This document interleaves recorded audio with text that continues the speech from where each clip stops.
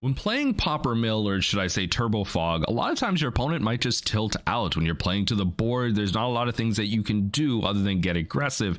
And if all these fogs in the world are going to stop you, well, your opponent might get a little tilted enjoy. In this game one, we have won the die roll and I'm pretty happy for it. A little less resources, but I'm able to put some cards away, try and find some spells and we weren't able to get there. But hey, a large weather the storm into an arcane denial is nothing to scoff at. Now I see the snow covered forest and I'm thinking Ponza, which is never great in terms of a matchup for us. We do need our lands to develop to really get anywhere. But hey, we're finding some draw spells. We do have a lot of lands in hand.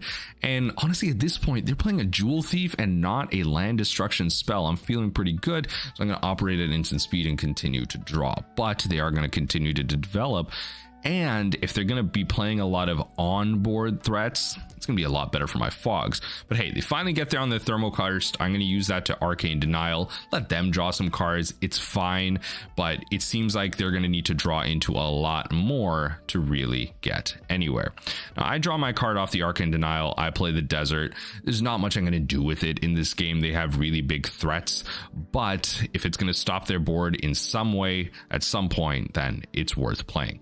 I'm going to continue to develop my board with the Simic Growth Chamber, return the Desert, use it to ramp but I have the accumulated knowledge. I have Weather the Storm into it, eh, the Arcane Denial, and they're going to play an Acid Moss, destroy that, and I'm going to Arcane Denial that because you know what?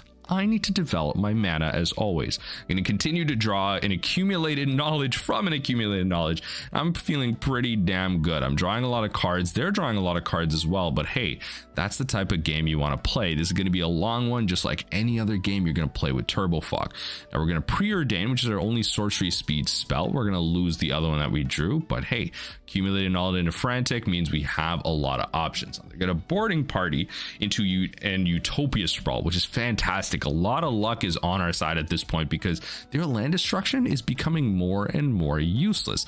Now they're going to swing in for nine and I'm going to say, hey, it's finally time to put out the, well, fog. I'm going to weather the storm. I'm going to gain a bunch of life and really just mitigate some happenstance here. I, I need to make sure my life total is high. I'm going to play the Bojuka Bog, make sure if they randomly playing any recursion, they don't have any.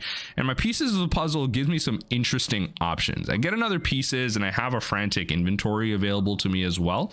And then finally, they're going to thermokarst one of my bounce lands, and I finally find my first stream of thought. They are using a lot of mana here, and I do have another Moment's Peace, and that's fine, but they finally find the initiative. This is where I start quivering in my boots a little bit. If I'm going to fog the game, there is one mode of the Undercity that's going to allow them to, well, get me to lose some life. They're going to gain a little bit of an advantage, and that's a card that, well, I can't deal with. That is a long game engine, so I need to start speeding up my clock here. So I'm going to mill them for a little bit. I am going to return some cards and well, that frantic inventory and the piece to puzzle better start working because the weather the storm isn't going to do too much against a board like this.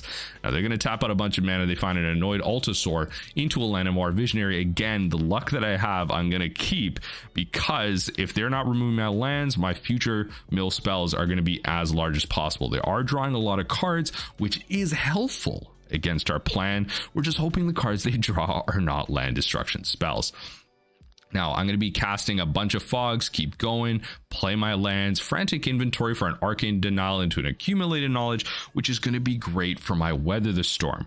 I'm going to ditch some cards here, operate at instant speed, let them cast some spells, and they're gonna well goad one of their creatures. They're gonna keep on going. I, I, I don't necessarily understand why they're going that way. I thought that they would want to use the trap mode to make me lose five life but i guess they figured because of everything i'm doing they're not gonna make it happen. So i'm gonna then arcane denial one of their spells. They get really tired of this situation. They don't think they're getting anywhere. And before i even mill them out they've just given up. Call that tilt Going into game two, I'm feeling pretty good. I'm already in my opponent's head. I don't need to bring in too much. That's too crazy. Again, this isn't really a favorite matchup for us, especially when I see the Arbor Elf out. It's not spelling good. And I do have a bunch of tap lands, but they're going to put the Utopia Sprawl on. That's great. That means that I'm not going to get turn two land destruction. I'm going to get turn three land destruction likely. Now, I'm not going to do anything here. I'm going to keep things a little close to my chest, hold up the kind of mana there, and they're going to go boarding party, which again, this is in our favor. If they're going to play a creature heavy draw, if they're going to get aggressive, this is exactly the type of hand that I need to be playing against. You're not getting rid of my lands, which is evidently my most important resource, and that's perfectly fine. I'm going to growth spiral, I'm going to draw a card, but they got the pyroblast for it. So I lose a land, I lose a spell, and they're up pretty well. But again, a little bit of tilt can go a pretty long way. I finally preordain. I have the growth spiral. I put that away as well because ultimately I just need to draw more lands and I, am just not able to do anything with the growth spiral this turn. I need something immediate. So I got the Moment's Peace out. I got the desert.